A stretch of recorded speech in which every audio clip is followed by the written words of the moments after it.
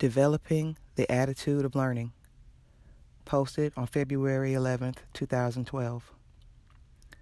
Your attitude towards life decides your experience of it. The attitude of looking to learn is the most powerful attitude to carry since it allows for an inherently positive experience of life. For example, when you are in a seemingly negative life situation, if your attitude is just to complain and feel frustrated, you will never allow yourself to really get a sense of the learning that this situation is trying to provide you. And when you don't learn what needs to be learned, you just keep repeating the same life situation again and again until you finally learn, after which a new reality can come through. If you see yourself repeating the past negatives constantly, like living the same negative experiences in new faces. It just means you are not learning, and hence, there is no positive growth in your reality. The simple way life works is that when you've really learned everything you need to learn from a present reality, you become ready to move to a new or expanded reality. Until then, you mostly just keep repeating the same patterns, and life feels as if it's gotten stuck on a tune.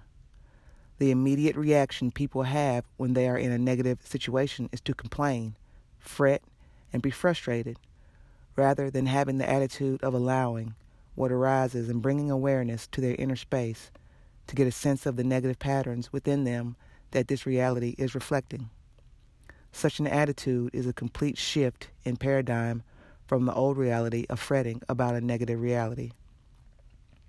When you just sit complaining about a negative reality, you are inherently focused on the negativity and hence keep perpetuating it.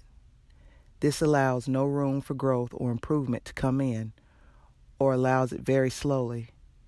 Instead, if you simply look to learn from every situation, to look within and identify the negative patterns that your present situation is helping reflect, which is what awareness is, you keep letting go of inner resistances steadily and thus moving out of contrasting or negative realities more swiftly. Be the change you want. Reality always manifests from inside to outside. The inside is what creates the outside, or rather, it's our inner vibration that attracts our external reality. So if you want to change in your reality, guess what needs to change first? Your inner space. By this inner change, I don't mean you need to change who you naturally are. Rather, you need to change your maturity level, expand your outlook, let go of inner resistances, and deepen your understanding. Your natural makeup is your uniqueness, and it's something you need to align with. But your maturity level and your learning can keep deepening eternally. In your physical life, you will never reach a point where you have nothing to learn. If you think you've reached such a point, you are basically living in denial. When you know that physical life is an eternal movement of learning, why would you feel that you are stuck in a negative reality instead of seeing it as a platform for growing and learning as a person? Instead of the attitude of, why is life doing this to me? De- develop the attitude of, what is the learning the situation is giving me? In this way, you won't be wallowing in self pity and will thus not keep perpetuating a negative life situation for long. You will learn, grow, and move on to an improved reality. Worrying, blaming, complaining, and fretting serves absolutely no useful purpose. Instead, it does the opposite by creating more resistance. It's just a waste of energy when you indulge in any of these behaviors. If you want change, look within and change the aspects in you that have attracted your current reality. It's always about bringing awareness to an inner negativity and thus letting go of it. Use your awareness for faster learning. A lot of people ask about how to let go of negativity after bringing awareness to it. If you notice, this is an inherently illogical question. It's like asking how to stop eating bad food when you've become aware that it's bad. Well, you just stop feeding it to yourself it's not a technique, it's just a normal thing to do. When you become aware of something negative, you automatically stop fueling it.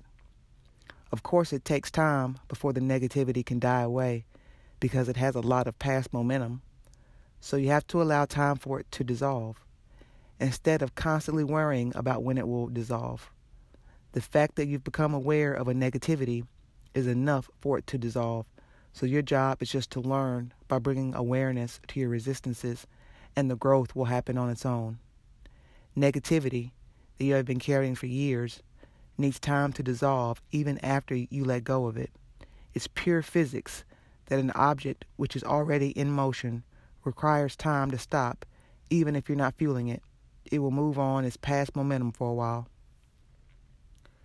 The power of your awareness keeps growing when your attitude is to look within to detect the patterns of resistance or fears and negativity in your inner space.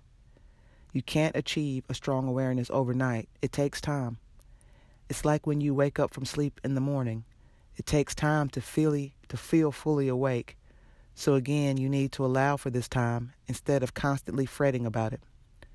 Of course, the fretting happens when one is highly irritated with the present reality and wants out. But this fretting inherently is delaying the change. If fretting is happening from the past momentum of the mind, just let it be. Don't try to suppress it, and don't give belief to it either. Just allow it to dissolve by staying in an open awareness. When you know fretting serves no purpose, you will no longer feel this behavior in you.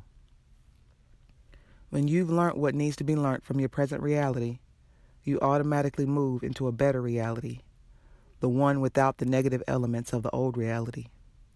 Life is an eternal growth, of course, so don't imagine that you will ever reach a reality where you would have nothing to learn. The deal is to keep moving forward rather than be stuck, because it's the stuckness that feels depressing. Movement toward movement forwards always feels exhilarating because you keep staying in sync with your life stream's pull, and hence you feel less resistance in you.